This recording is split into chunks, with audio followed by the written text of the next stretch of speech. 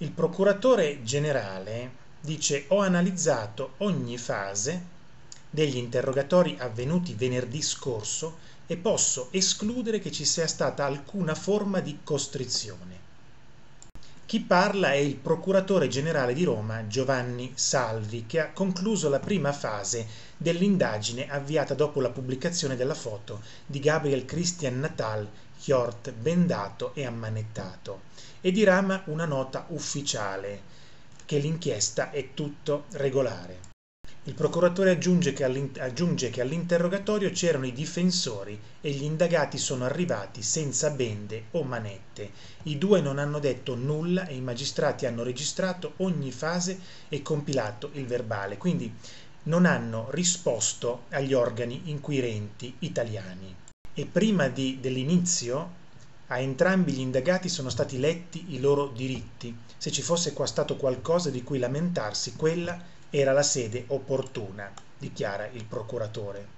Ma questo, dice, non esclude che più avanti ci possano essere dei problemi, ma infatti abbiamo avviato un'inchiesta immediata per verificare ogni passaggio, a partire da chi ha deciso di mettere la benda per finire con chi ha scattato la fotografia, perché anche chi ha scattato la fotografia, che era lì e ha visto, essendo un militare, è complice. Quindi, caro amico, dico io, che hai fatto la fotografia e poi l'hai divulgata nei gruppi della polizia e poi qualcuno l'ha messa sui social, eh, sei parte di quello che è successo. Non sei il fotografo, ma sei parte in quanto eri lì come militare.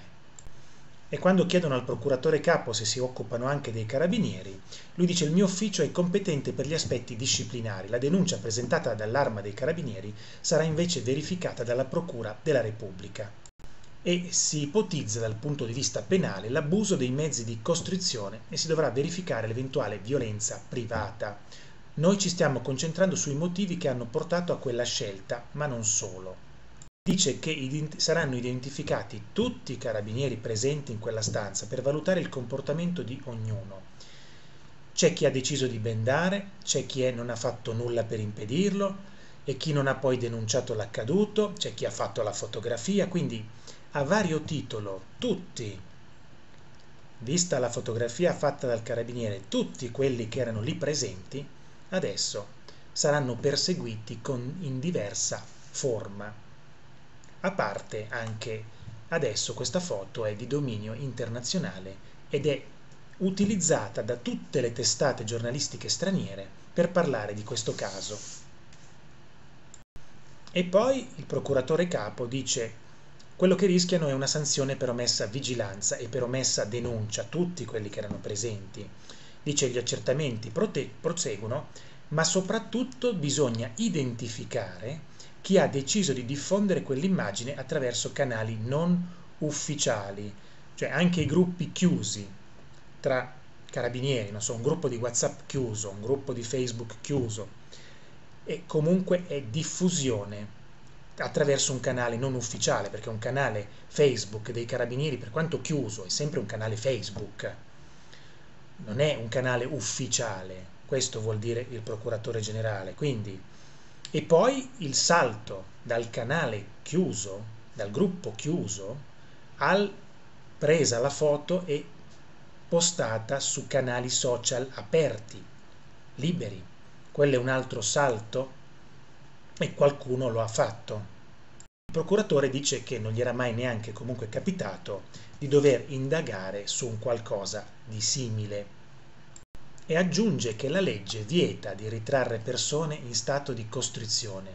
Però in questo caso posso dire, meno male che abbiamo visto quell'immagine, perché così ci consentirà di perseguire chi non ha fatto il proprio dovere violando le regole in maniera, e dice finale, gravissima.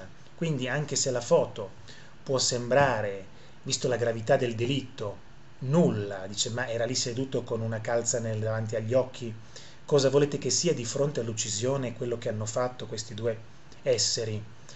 Però se voi descontestualizzate e prendete solo la foto e più la pubblicazione di questa foto diventata pub di dominio pubblico, se voi guardate solo questo fatto, senza guardare che poi hanno ucciso, sono complici, solo la foto è un atto comunque grave sotto l'aspetto della giurisprudenza e delle leggi italiane.